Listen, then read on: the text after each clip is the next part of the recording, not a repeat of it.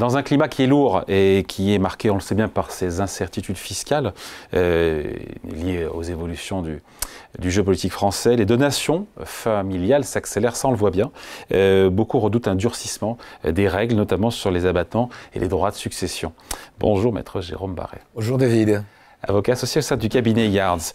Euh, dans ce climat d'incertitude fiscale, je le disais, euh, de plus en plus de familles, encore une fois, et pour eux c'est prioritaire, s'intéressent aux donations. Euh, à tort ou à raison?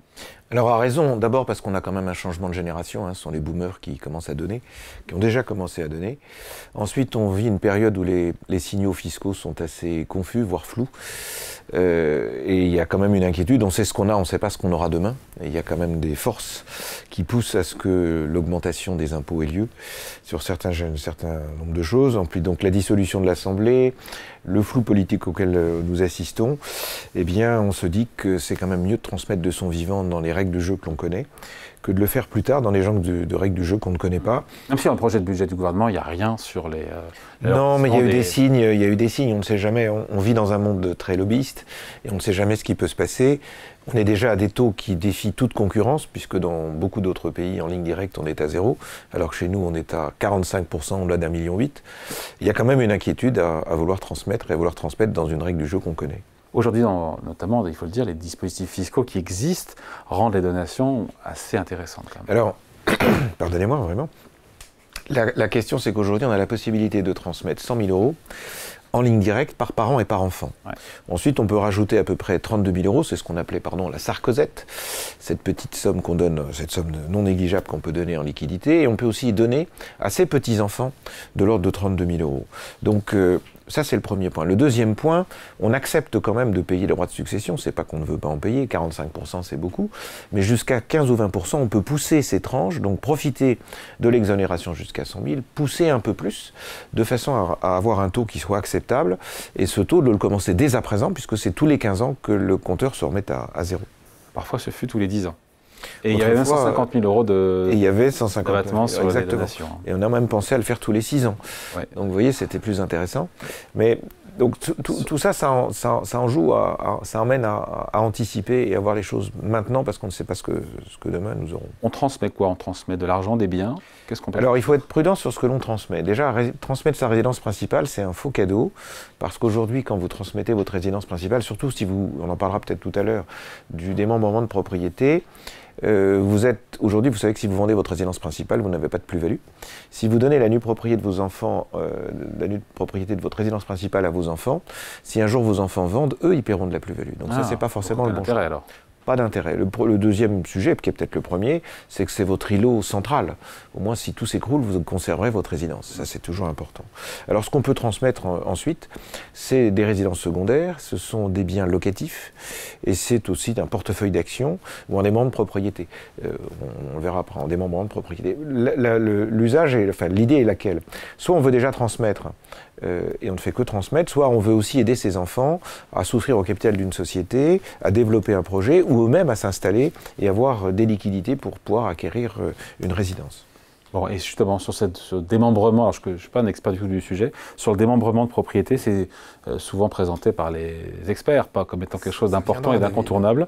Pourquoi, pourquoi c'est intéressant le, Vous deviendrez spécialiste si vous venez vous voir plus souvent, ah, David. bien sûr. Mais alors pourquoi? Parce que c'est un, sujet qui est assez latin.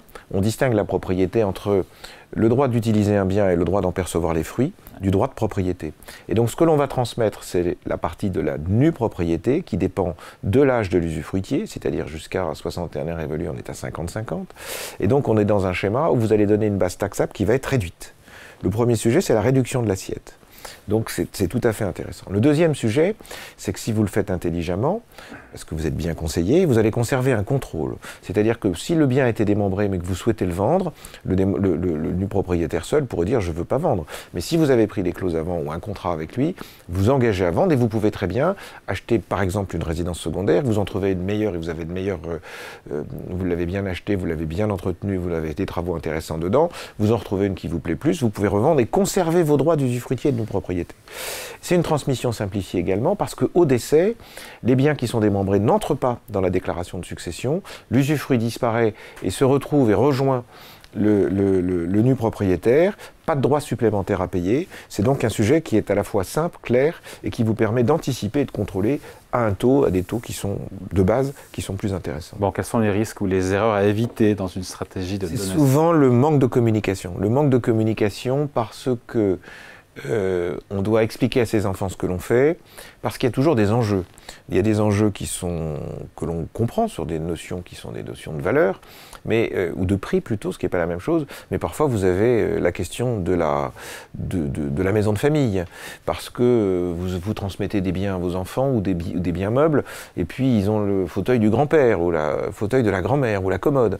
Donc là, il faut communiquer pour savoir comment on fait. Une résidence, généralement la résidence de famille, la maison de famille, peu importe sa valeur d'ailleurs, elle a toujours un affect assez fort. Et si vous dites, ben voilà, ça sera mon numéro 2, mon numéro 3, sans expliquer aux autres pourquoi, ça ne fonctionnera pas bien.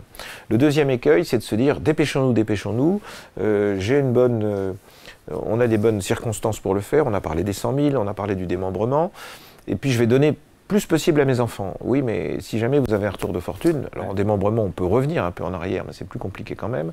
Il, faut savoir ce qu'on fait.